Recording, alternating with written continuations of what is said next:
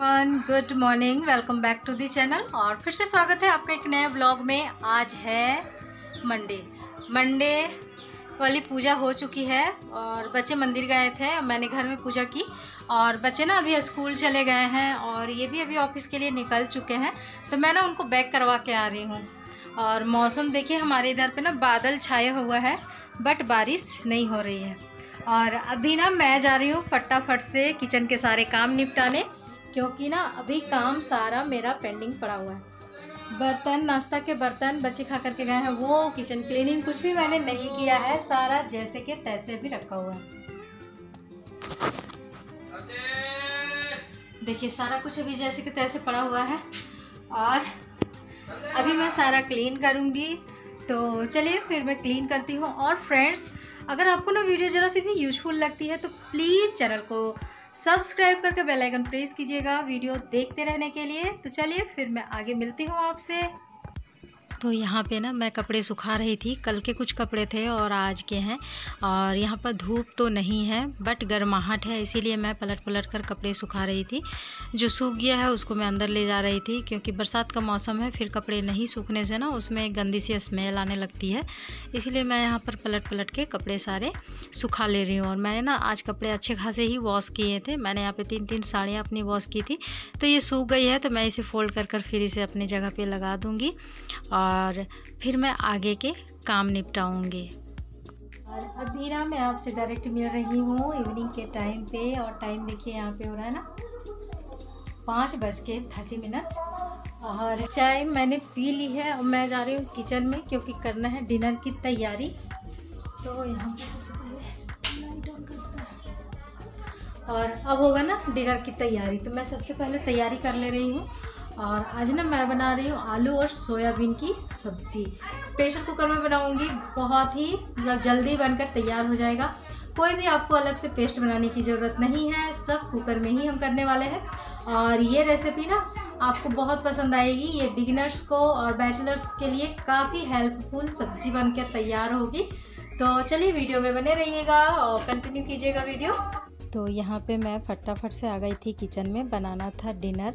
मैं डायरेक्टली आपको शाम के टाइम में मिल रही हूँ तो सारी चीज़ें मैं यहाँ पे तैयारियाँ कर ली हूँ। मैं बना रही हूँ सोयाबीन की सब्ज़ी।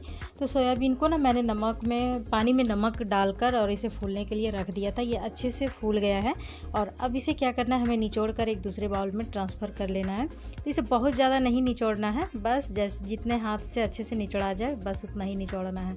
तो लीजिए मैंने इसे दूसरे बाउल में ट्रांसफ़र कर लिया और अब डालना है दो चम्मच के करीब दही तो मैं यहाँ पर बिल्कुल गाढ़ा दही का इस्तेमाल कर रही हूँ। और साथ में डालेंगे एक चम्मच अदरक लहसुन का पेस्ट। थोड़ा सा मैं यहाँ पे डाल रही हूँ कसूरी मेथी और साथ में गरम मसाला। नमक डालेंगे और सारी चीज़ों को अच्छे से मिक्स करेंगे। इसमें ना ये मेरीनेशन हमारा तैयार हो गया है और इसे हमें पंद्रह बीस मिनट के लिए रेस्ट के लिए रख देना है। तो ये हमारा तो ये अच्छे से मेरीनेट हो जाएगा और इस तरीके से आप एक बार सोयाबीन नहीं बनाए हो तो ज़रूर बना कर देखिएगा, आपको बहुत ही पसंद आएगा। तो चलिए यहाँ पे कुकर रख रही हूँ मैं गैस पर, गैस को मैंने ऑन किया है और अब इसमें डालेंगे तेल। तो मैं यहाँ पे तीन से चार चम्मच के करीब ऑयल डाल रही हूँ, अच्छे से गर्म हो जाने देंगे, उसके बाद मैं यहाँ पर डाल रही हूँ जीरा। और ये सब्ज़ी ना अलग से इसमें हमें किसी भी तरह का मतलब मसाला पहले से रेडी करके रखने की कोई ज़रूरत नहीं है। तो मैंने डाला जीरा, तेज़पत्ता दो लौंग एक छोटी इलायची और एक छोटा टुकड़ा दालचीनी का प्याज डाला है मैंने। यहाँ पे लंबे लंबे स्लाइसेस में कट किया हुआ मीडियम थिकनेस का, क्योंकि फिर इसे हमें तो गलाना है ना। इसीलिए तो चलिए प्याज को हमें सुनहरा होने तक भून लेना है और ये देखिए सुनहरा भी हो गया है तो अब इसमें ऐड करना है थोड़े से मसाले। तो मैं यहाँ पे डाल रही हूँ हल्दी पाउडर, धनिया powder mix masala powder, Kashmiri red chilli powder, साथ में मैंने जीरा पाउडर भी डाला है। और चलिए सारी चीज़ों को यहाँ पे भून लेते हैं थोड़ी देर के लिए।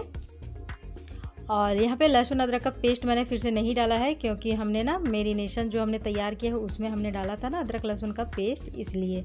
यहाँ पे टमाटर डालेंगे। एक मैंने मीडियम साइज़ का टमाटर लिया है, जिसको बारीक बारीक काट लिया है, और टमाटर को गलाने के लिए अब यहाँ पे हमें टेस्ट के अकॉर्डिंग नमक डालना है। बट अब ध्यान से डालिएगा, क्योंकि मेरीनेशन में भी हमने नमक इस्तेमाल किया था। चलिए मिक्स कर देते हैं और अब यहाँ पे तीन से चार चम्मच के करीब पानी डालेंगे। अच्छे से मिक्स करेंगे। ढक्कन लगाकर इसे हम दो सीटी लगा लेंगे। और इस तरीके से ये हमारा मसाला पेस्ट भी रेडी हो जाएगा। अगर लाइट का टेंशन है तो फिर आप इस तरीके से इस रेसिपी को ज़रूर ट्राई कीजिएगा। तो देखिए, दो सीटी लगाने के बाद ये अच्छे से सॉफ्ट हो गया है। सारी चीज़ों को कलछी की हेल्प से हम मैश कर लेंगे। और यहाँ पे देखिए, फिर से मैंने गैस को ऑन किया है और ये मसाला हमारा अच्छे से पेस्ट के रूप में कन्वर्ट हो गया है। तो अब यहाँ पे डाल देना है आलू। मैंने यहाँ पे कच्चे आलू का ही इस्तेमाल किया है क्योंकि हम सब्ज़ी कुकर में बना रहे हैं ना, इसलिए। तो चलिए, अब आलू को भी हमें मसालों के साथ दो से तीन मिनट के लिए अच्छे से भून लेना है। तो लीजिए, आलू भी हमारा भून गया है अच्छे से ही। अब यहाँ पे क्या करना है, जो हमने मेरीनेट करके रखा है ना सोयाबीन, वो यहाँ पे डाल देना है। और इसे डालने के बाद भी हमें इसे एक से दो मिनट भून लेना है, क्योंकि हमने इसमें दही का इस्तेमाल किया है ना तो थोड़ी देर हम इसे भून लेंगे। उसके बाद फिर इसमें हमें पानी डालना है। तो पानी की कंसिस्टेंसी आप अपने हिसाब से एडजस्ट कर सकते हैं। आप अगर चावल के साथ खाते हैं तो थोड़ा ज़्यादा मात्रा में पानी डालें और अगर आप रोटी के साथ खा, खाना चाहते हैं तो थोड़ा कम मात्रा में पानी डालिएगा।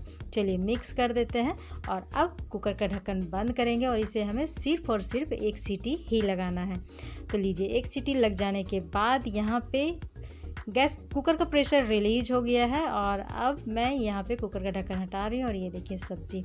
धनिया पत्ता डाल रही हूँ मैं थोड़ा सा ऊपर से और चलिए फटाफट से इसे हम सर्व कर लेते हैं और ये लीजिए, ये हमारी सुपर टेस्टी सोयाबीन दही की सब्ज़ी बनकर तैयार हो गई है और ये बहुत ही टेस्टी लगती है। तो रेसिपी आप एक बार ज़रूर ट्राई कीजिएगा।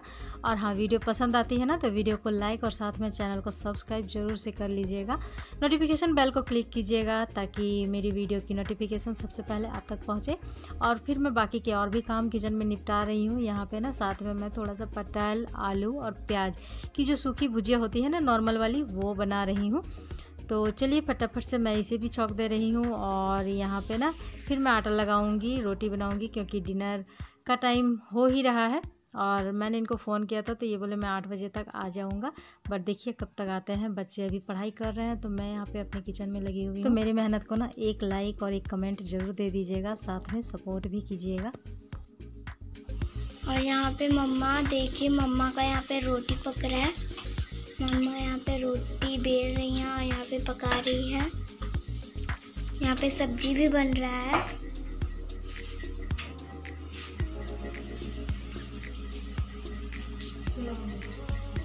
ना मेरा डिनर बनकर रेडी हो गया है और बच्चे भी पढ़ाई कर रहे हैं। लाइट मैंने बंद कर दिया तो यहाँ पे देखिए, बच्चे भी पढ़ाई कर रहे हैं। और अभी ना मैंने इनको फ़ोन किया तो ये बोले, मैं आठ बजे तक आ जाऊँगा बट अभी तक ये आए नहीं है, आठ तो बज चुका है। फिर से मैं इनको फ़ोन लगा रही हूँ, देखती हूँ कि कब तक आते हैं। और ये यहाँ पे आ चुके थे। और जल्दी आ रहे थे ना तो बच्चों ने डिमांड किया था कि कुछ लेते आइएगा पापा तो बच्चों के पसंद का वो फिर कुछ ले करके आए थे। तो यहाँ पे ना आज का व्लॉग मैं एंड करती हूँ। फ्रेंड्स वीडियो पसंद आए तो प्लीज़ प्लीज़ प्लीज़ ढेर सारा लाइक कीजिएगा। और साथ में ना चैनल में पहली बार आए हैं तो चैनल को सब्सक्राइब ज़रूर से कीजिएगा। तो चलिए मिलते हैं नेक्स्ट वीडियो के साथ।